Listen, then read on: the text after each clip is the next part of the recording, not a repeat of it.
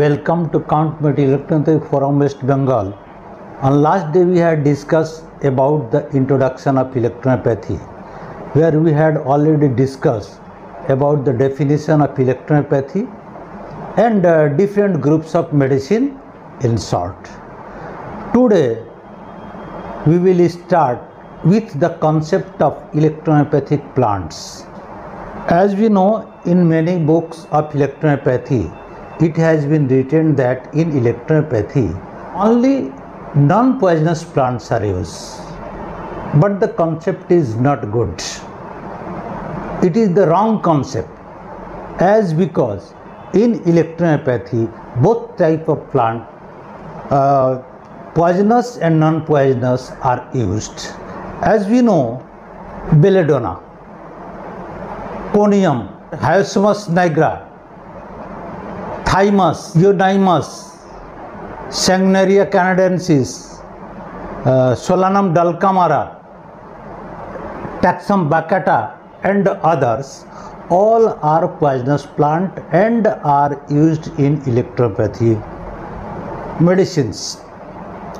But the concept should be this that electropathy medicines are called non-poisonous. Yes, this is good. But the question comes how in electropathy poisonous plants are used then how medicines are non-poisonous?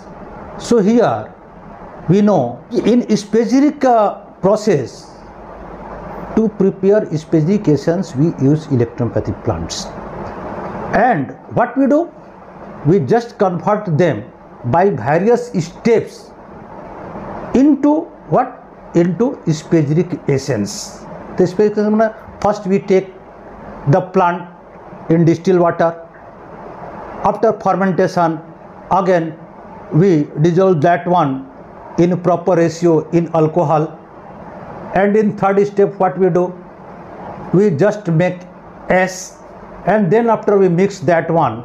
So in this way we prepare our specific essence so poisonous and non-poisonous plants are used for the preparation of specifications as designated to compile the materia medica of electronopathy. So specific essence are converted to D4 level to make the original medicines for therapeutic purpose which are having no poisonous effects.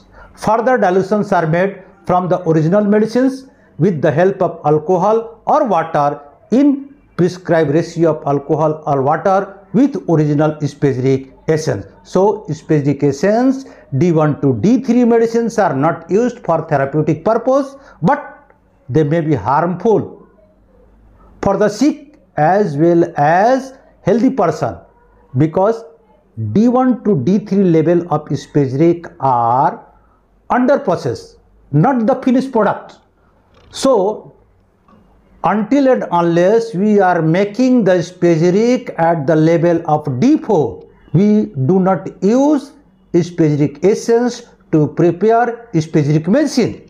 So, the respective plant essence at D4 level are mixed in definite prescribed proportion to form original specific medicines which are considered as base of each medicines and after that we may dilute as dilution 1, 2, 3, 4 or above as per prescribed rules as in GHP.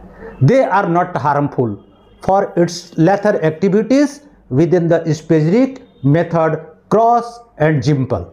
So what we get the chemical sensitivity are a consideration for all products in the pharmacy patients are sometimes confused about additional ingredient added to electropathy medicines such as alcohol, lactose, sucrose and others. Patient with lactose intolerance may wish to avoid such product because they generally ask key electropathy medicines are in globules form and uh, they are sweet. So I am a diabetic patient so it may harm you. May I take or not so that here we should know, however, the amount of lactose in electropathy pills is usually far below the threshold of discomfort. research suggests that adults and adolescents with lactose malabsorption can eat or drink at least 12 gram of lactose in one sitting with only minor if any symptom still in rare cases of complete abstinence or true allergies such uh, bases and uh, this your additives must be avoided.